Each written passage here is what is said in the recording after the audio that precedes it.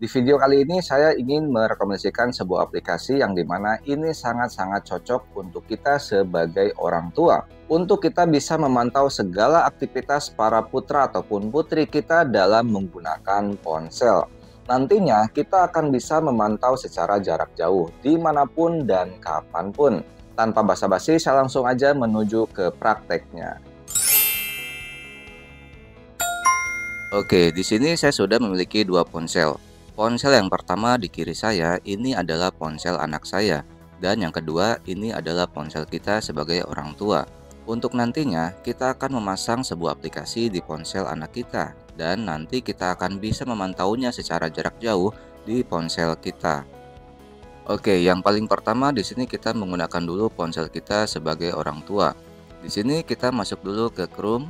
Setelah itu kita masuk ke website namanya Money Master. Nah, ini ada kita masuk dulu ke Money Master ya. Untuk di sini kita bisa demo terlebih dahulu. Kita bisa melihat seperti apa sih aplikasi Money Master ini. Di sini kita klik saja pre-demonya. Nah, di sini kita bisa menggunakan Android ataupun kita bisa menggunakan iOS. Untuk di sini saya mencobanya dengan menggunakan Android. Di sini kita klik dashboard. Nah, terlihat nantinya kita bisa memantau WhatsApp yang ada di ponsel anak kita. Lalu dari teleponnya, dari SMS-nya, dari foto yang disimpan pada anak kita, lalu dari browser historinya, dan juga di sini ada lagi yang lainnya seperti halnya GPS, lalu Messenger, lalu lagi di sini ada aplikasi yang sering digunakan anak kita, dan juga masih banyak yang lainnya. Oke, di sini saya coba login terlebih dahulu ya. Nah, di sini kita harus daftar terlebih dahulu jika kita belum memiliki akun ya. Di sini saya coba daftar dengan email yang saya miliki terlebih dahulu. Di sini saya coba dulu buy now ya. Nah, di sini ada beberapa tampilan harga. Semakin lama semakin murah harganya ya. Saya coba dulu yang satu bulan ini. Untuk pembayarannya di sini bisa menggunakan Google Pay, lalu PayPal, lalu kartu kredit. Dan kita masukkan email dan kita klik Pay. Jika berhasil dari pembeliannya, nanti tampilannya akan seperti ini plan yang kita beli yaitu di sini satu bulan lalu ada expiry date-nya di sini yaitu sampai tanggal 14 bulan April. Setelah itu kita klik saja setup guide. Nanti di sini akan diberi petunjuk untuk kita cara memasang aplikasi di ponsel anak kita nantinya. Nah, di sini kita mulai menggunakan ponsel anak kita untuk kita memasang aplikasi Money Masternya sesuai petunjuk yang tadi diberikan. Di sini kita masuk dulu ke Chrome, lalu masuk ke link an.moneymonsterapp.com. Setelah itu kita geser ke kanan dan nanti otomatis akan mendownload.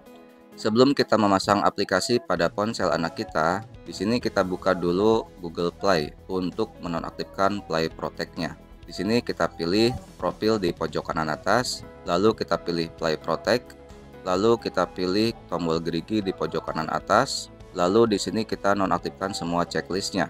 Nah, setelah itu kita install aplikasi pada ponsel anak kita. Sampai ini benar-benar berhasil terinstall pada ponsel anak kita. Setelah terinstall, kita buka aplikasi Money Masternya di ponsel anak kita. Lalu kita masukkan email dan password kita tadi. Setelah itu kita bisa masukkan nama anak kita, jenis kelaminnya, lalu umurnya. Lalu di sini kita masuk ke konfigurasi secara manual. Untuk settingan konfigurasi ini saya coba percepat saja. Nanti kalian pun akan bisa mengsettingnya secara mudah ya. Karena petunjuknya di sini sudah diberikan semuanya. Jika nanti setting konfigurasinya berhasil, nanti tampilannya akan sukses seperti ini.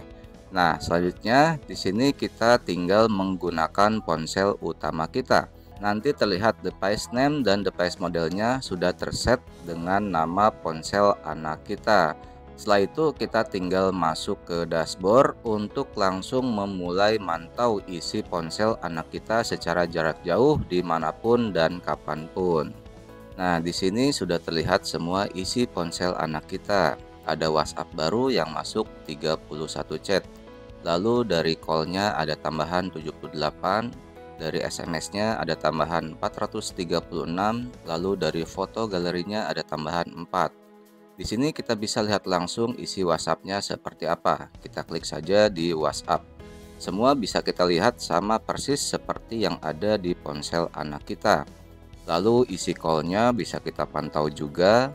Lalu isi SMS-nya kita lihat isi-isinya. Lalu dari foto galerinya ini kita bisa lihat ya sama sesuai dengan isi ponsel di anak kita.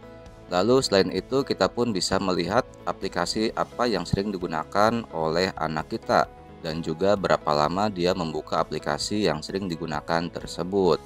Serta di sini pun terlihat ada berapa lama ponsel anak kita itu aktif Lalu di sini pun bisa terlihat dari posisi akurat ponsel anak kita sedang di mana ya. Jadi kita nggak perlu khawatir lagi dengan adanya aplikasi ini ya.